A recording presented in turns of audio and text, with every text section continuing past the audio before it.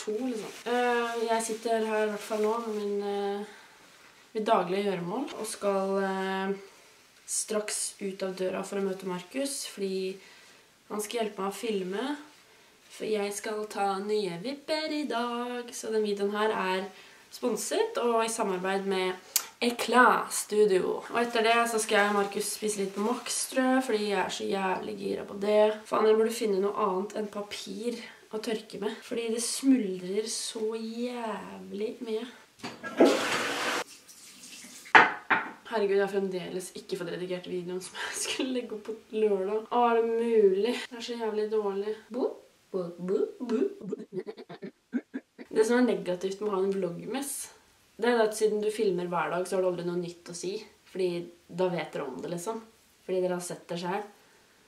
Så det er liksom ikke noe life-update, eller Nei, nei, nei. Eneste life-updaten er at jeg la meg halv fire, for jeg lå og snakka med en person til halv fire i natt. Så faen ikke rart at jeg var så lenge i senga i dag. Dette er jo nesten som å runke en kjempesvær penis. Å, herregud. Skal jeg gidde å gjøre noe med utseendet mitt i dag? Jeg drar jo straks, liksom. Jeg kan jo prøve å gjøre noe med håret mitt, da, for det er jo litt sånn Hei, jeg heter Christian, og jeg er tolv år. Og i morgen så skal jeg fikse de jævla neglene. Fy faen, det blir godt, ass. For det er så jævlig irriterende. Fordi at man kan liksom vippe de opp bitte litt sånn her på enkelte steder. Så når jeg tar meg sjøl i håret, så bare sitter jeg fast i håret, og så river jeg med meg halve huet mitt, liksom. Wow! Jeg ser ut som en sånn trommeslager fra 1980. En sånn mannlig trommeslager. Mangler bare leather jacket nå.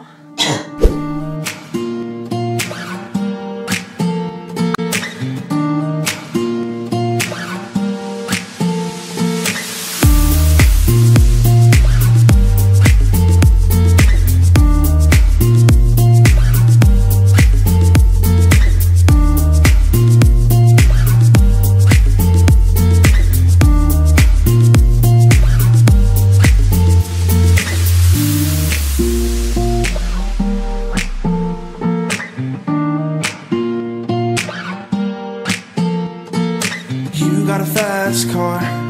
I want a ticket to anywhere. Maybe we can make a deal. Maybe together we can get somewhere. Oh, any place is better. Starting from zero, got nothing to lose. Maybe Nå har jeg fått enda mer volum og litt lengre enn sist. Og jeg kommer til selvfølgelig å linke til, eh, eh, linke til Instagrammen hennes i infoboksen. Jeg vil også veldig gjerne at eh, dere bestiller en time, sånn at jeg kan fortsette å samarbeide. Nå skal vi i hvert fall spise på Max, fordi vi er så sultne. Og så skal jeg få lov til å være med hjem til Markus, faktisk. Ja, Og det er jævlig nice. for første gang. For så det blir jomfruturen hjem til Fettsund. Yes, sir! Det blir gøy. Vi hilser på mammaen din kanskje, hvis hun er hjemme. Ja, vi får se da. Ja. Men det tar en halvtime å dra dit. Ja, nei, med tog 18 minutter, og så er det Oh. 1 minutt å gå Ja, togstasjonen. 20 min da. 20 min, så det er ikke noe store greier. Diggelig digg. Det var ikke så mange på Max heller, jo litt. Burgeren er spist, og vi har ankommet Fødsund. My hometown. Det ser litt ut som Golia. Ja, ikke sant? å, så koselig. Så har vi sånn toghus der som kan vente hvis vi er kalde. Altså. Ja. Så det her er liksom eh, Skal vi på Rema? Ja. Det minner meg skikkelig om Gol. Nå kjenner jeg, nå gleder jeg meg til å dra til Gol. det er litt lenger dit, da. Men eh, hva skal vi ha på Rema, da? Jeg tenkte at jeg skulle kjøpe meg noe brus. og så kanskje litt eh, snacks. Det gikk fint. det kunne blitt en skikkelig Ja, driv. jeg trodde du snubla først, jeg snudde meg for å se det gikk. Nå så sitter vi på rommet til Markus, og jeg får ikke lov til å snu kamera. Strengt forbudt. Nei? Det er så rotete her. Ja. Men det er like rotete hos meg, da. Ja.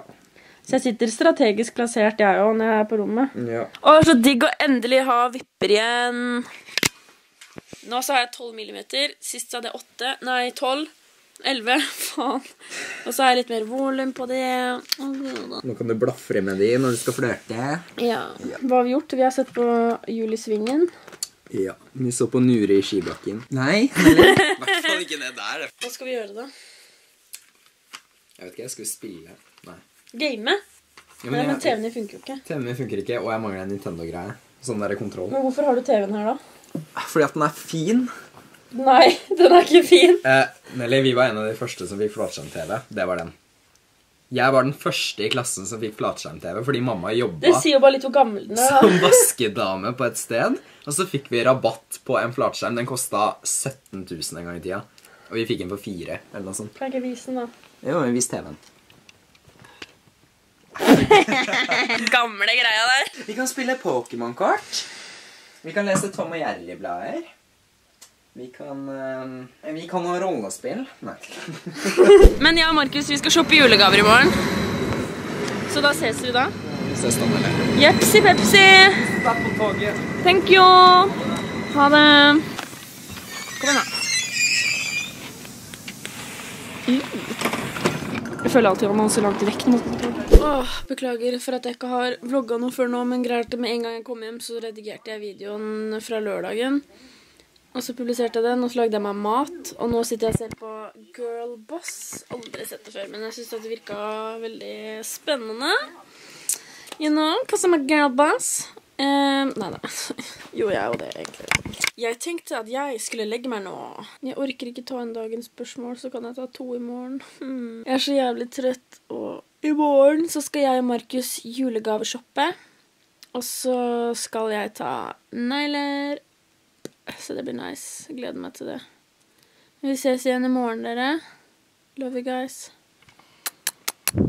Good night.